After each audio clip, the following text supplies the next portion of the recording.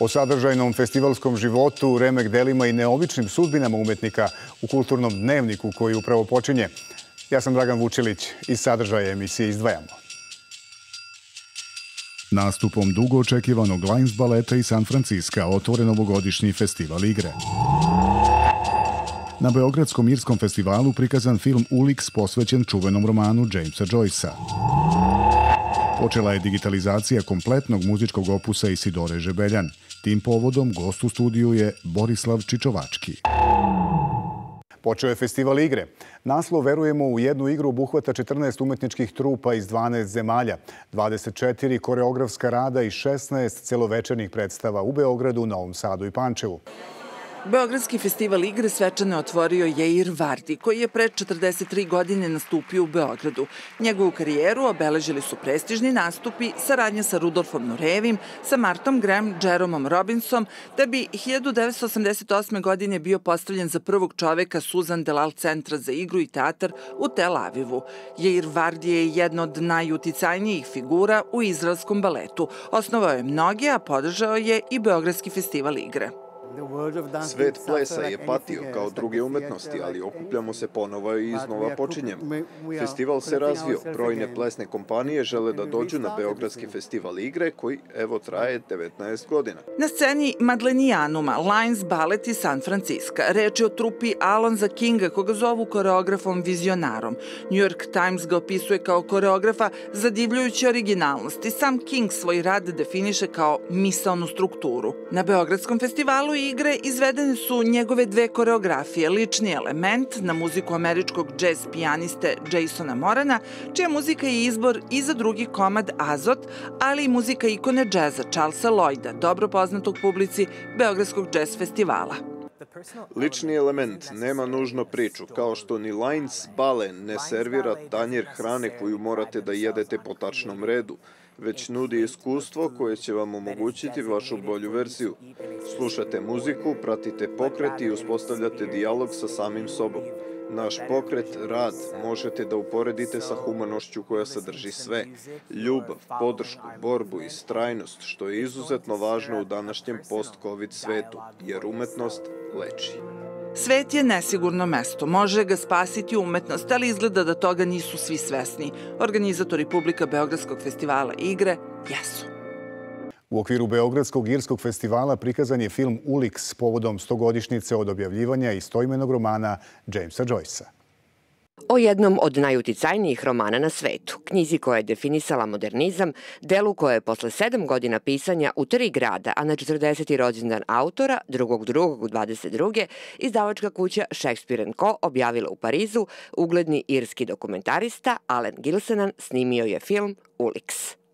Ovo je vrlo kreativan film koji predstavlja jedno maštovito čitanje romana. Film se kao i knjiga sastoji od 18 poglavlja. Uz eksperimentalni pristup i poluabstraktan stil, ovo je vizualno bogata interpretacija knjige koja će stimulisati gledaoce na sobstveni doživljaj. Reč je o provokativnom prikazu Uliksa koji koristeći film kao mediji predstavlja eho njegovog stvaralaštva. Roman Ulix ima gotovo kultno sledbeništvo, baš kao i reputaciju zahtevne knjige. Film koji je na programu Beogradskog Irskog festivala i u subotu sniman je na zahtev Irskog muzeja književnosti. Joyce je dominantna figura u Irskoj, pisac nad piscima. Slavimo Bloomsday koji je inspirisan likom iz Uliksa svakog 16. juna. Mi kažemo da je Joyce prvi irski modernista, a Beckett poslednji. Mnogi Irci vole da diskutuju o Joyceu, ali samo ga njih par zaista razume. Zanimljivo je videti kako Joyceovo remek delo Ulix i dalje inspiriše umetnike poput autora ovog filma. Beogradski irski festival, osim dokumentarca Ulix, prikazuje i još jedan film zasnovan na delu kultnog autora. Kratko igrano ostvarenje Susret, inspirisano Joyceovim Dublincima. Dela Zuzane Halupove i Martina Jonaša, čuvenih slikara iz Kovačice, izložena su u Beogradskom parobrodu. Savremenici Zuzana Halupova i Martin Jonaš, iako su naivni slikari i potiču iz Kovačice, diametralno su različiti.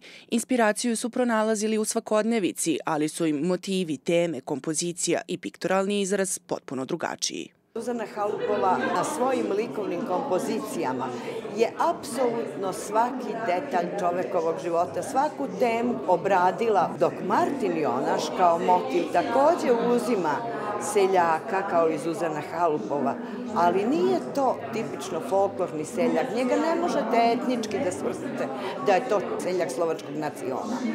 Dok od nje, apsolutno sve je u slovačkom duhu. Halupova je naslikala oko 3000 slika. Izlagala je u mnogim metropolama sveta, od Pariza preko Londona i Njujorka do Tokija. Jonaš je na međunarodnoj izložbi crteža u Italiji 1978. godine osvojio zlatnu medalju, zajedno sa Dalijem. I Zuza i Jonaš i Husarik, svi ti veliki autori su doprinili da Kovačica bude viđeno mesto na mapi sveta. Takođe mi danas izložbama i u zemlji i u inostranstvu promovišemo Kovačicu i opšte našu naivnu umetnost.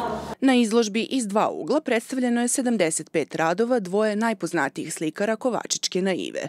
Povodom 20 godina od smrti Zuzane Halupove i 25 godina od smrti Martina Jonaša. Uskoro će biti objavljena i knjiga Pogled iz dva ugla. U Dubaju je nedavno u okviru svetske izložbe Expo izvedena androinska opera Ogledalo. Japanskom kompozitoru i muzičaru Keiichiru Shibui na sceni se pridružio Alter 3, android opremljen veštačkom inteligencijom koji je bio dirigent. U operi Ogledalo mogle su se čuti budističke crkvene melodije i muzika koju izvoli Simfonijski orkestar NSO iz Ujedinjenih Arabskih Emirata. Taj muzički komad je predstavljao saradnju čovekolikog robota budističke tradicije u Japanu duge 1200 godina i simfonijskog orkestra. U centru pažnje nove opere Shibuya ogledalo je Android Alter 3, opremljen veštačkom inteligencijom, robot osmišljen tako da može da komunicira sa spoljašnjim svetom. Razvili su ga univerziteti u Osaki i Tokiju i kompanija Mixi Incorporated uz podršku Warner Music iz Japana. Glavni cilj je ispitivanje mogućnosti komunikacije androide sa ljudima, u ovom slučaju putem muzike. Muzički kritičari tvrde da Shibuya nije samo kompozitor, već da ima odlične ideje o produkciji, dizajnu, koreografiji i scenografiji, što je, kažu, prirodno jer japanski umetnik, osim komponovanja, kontroliše i sve aspekte muzike koje izvodi Android. U odnosu na ranije ostvarenje u ovoj operi, kompozitor je pojačao odnos između čoveka i tehnologije, pa sad Android diriguje orkestrom, ali je istraživao nove modele harmonije i sjedinjavanja različitosti između ljudi, tehnologije, stare budističke muzike, orkestra i elektronske muzike. Kada je reč o razvoju samog robota, on sada može da peva uz pomoć veštačke inteligencije i ostvaruje dobru vezu sa klavirom i budističkom muzikom. U operi Ogledalo stvoren je značajan kontrast i mešovito osjećanje raznolikosti prema prošlosti i budućnosti, akustike i elektronike kroz jednu kompoziciju. U Bečkom narodnom pozorištu je premijerno izveden komad Kazimir i Karolina, u kome se veselo tužno opisuje poslednji dan života autora Edena von Horvata. Na scenama bivše Jugoslavije rado su se igrali tekstovi Edena von Horvata. Priče iz Bečke šume ili Kazimir i Karolina bili su kućno ime na repertoaru beogradskih i zagrebačkih pozorišta. Pred Horvatovim narodnim komadima o ljudima okovanim socijalnim statusom padali su i kapitalizam i socijalizam. Bežeći od nacista iz Beča posle Anšlusa 38. Horvat se našao u Parizu, Odatle je nameravao dalje za Ameriku i Hollywood. Već je u oči puta na njega je pala grana na Jelisejskoj aveni blizu Triumfalne kapije i ubila ga. Samo njega. Šta je scenski izazov kad se dramatizuje epohalni vic? Došli smo u Beč sa 500 stranica teksta, onda smo to skratili na 250, pa na 130 i sada ih je oko 66. Bilo je još teškoća, kratko vreme i korona, bolesti i izolacija – Takođe i to da mi obično zagrizemo više nego što možemo da progutamo, napišemo i planiramo nešto što od početka znamo da nije moguće. Onda režemo i skraćujemo. Život je tragičan, ali kad se pogleda u ogledalu pozorišta, onda je komičan. Mi smo generalno veseli ljudi i tražimo razlog da se smejemo, ali ne radimo za smeh. Ova predstava pokazuje alternativni tip bele globalizacije kad bi je nosili mali evropski narodi – Autorski dvojac dolazi iz njujorskog Nature Theater Oklahoma, ime iz završnice Kafkinog romana Amerika. Horvat u Parizu piše početak romana Zbogom Evropo, koji usud pretvara u Zbogom Ameriko. I glumački je ova tragikomedija izazov. Ova estetika je atipična jer sve vreme imamo mikrofone u uhu i izgovaramo tekst onako kako nam stiže. Mi ga samo ponavljamo što je sasvim drugačije od onog što se smatra glumačkom profesijom, da se tekst nauči i izgovori. Toga u ovoj produkciji nema. Namera je bila postići pozorišni jam session kao jazz improvizacija o Edenu von Horvatu, kakav je bio i kakav je mogao da bude u svom poslednjem danu. Radnje, mesta, jezici, mediji, autori, sve se brzo menja u ovoj predstavi koja se vrti kao panoptikum. Ono što je drži zajedno, to je strast za pričanjem priča i neverovatna radost igre. Za kulturni dnevnik iz Folksteatra Vesna Knežević.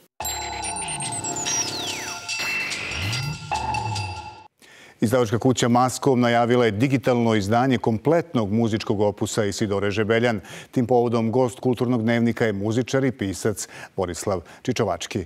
Dobrodošli u Kulturni dnevnik. Hvala na pozivu, dobro. Gospodine Čičovački, prvo izdanje koje će biti digitalno objavljeno u drugoj polovini marta je album Iluminacije sa muzikom za pozorišne predstave. Kako su selektovana dela i kojom frekvencijom će ona doći pred publiku? E, pre svega, tokom posljednjih decenija objavljeno je nekoliko kompakt diskova u zemlji i inostranstvu sa Isidorenom muzikom i pre svega e, Maskom i cela ekipa koja stoji iza tog projekta. Tamo je odlučila da e, zapravo prvo objavi one one snimke koji su već postojali na drugim nosačima zvuka, tako da su krenuli sa E, kompakt diskovima, odnosno albumima koje su oni sami izdali. To su Iluminacije, dakle to je album e, sa Isidorinom pozorišnom muzikom, a potom ide opera Zora D, odnosno snimak opere Zora D, koje je takođe objavio svojevremenom maskom na, na svom kompakt disku. Dakle, to je prvi e, ovaj niz kompozicije, odnosno snimaka koji će biti objavljeni, a potom će izvesnom frekvencijom nekoliko albuma u tokom godine da bude objavljivano i ostalo. Na streaming servisima već se nalaze dva singla. Kako je interesovanje publike? E, koliko sam ja uspeo da e, čujem i vidim veliko i uopšte to jeste nešto što je karakteristično za Isidorinu muziku, odnosno za njene snimke. Ljudi je vole, ljudi vole muziku, ljudi su oduševljeni. To znam i između ostalog po tome što su ljudi veoma raspoloženi da je sviraju, da sviraju Isidorine kompozicije e, zaista po celom svetu. Tako da i ovo objavljivanje krenulo smo sa dve numere iz pozorišne muzike, odnosno album Iluminacije, bile izuzetno e, dobrodošle u, u svetu zvuka. Namera same digitalizacije je da olakša pristup e, svakoj muzici, pa i Sidorinoj, ali podjednako je važno i simbolično značenje ovog projekta. Znate kako, vrlo je važno e, da budemo svesni i mi da u današnje doba, ranije su generacije, ne samo kod nas, neko uopšte bili izgleda svesnije toga da, da je prošlo sastavni deo svake budućnosti i da je kulturna, e, kulturno dostignuće kulturna tradicija nešto što zapravo čini budućnost svekolikog zemaljskog šara. Tako da i ovo kod nas je zaista veoma bitno i veoma važno, jer će na taj način i muzika zaista biti e, dostupna u slušačkom obliku svima, svuda. I to je jedan izuzetan dakle, e, poduhvat. E, naravno, on dešavaju se slične stvari u inostranstvu, veliki, velika imena, da li klasične ili pop muzike, kao što su Marija Kalas, e, David Bowie. Oni već imaju ovaj, takve kanale na kojima bukvalno sve što su radili i snimili.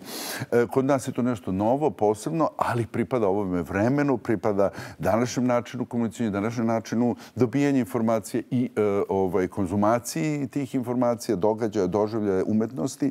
Prema tomu, u tom smislu, to je nešto što je opstanak ne samo e, Isidore kao izuzetnog velikog umetnika, ne samo nas kao naroda koji je imao tako veliko umetnika, nego zaista umetnosti uopšte.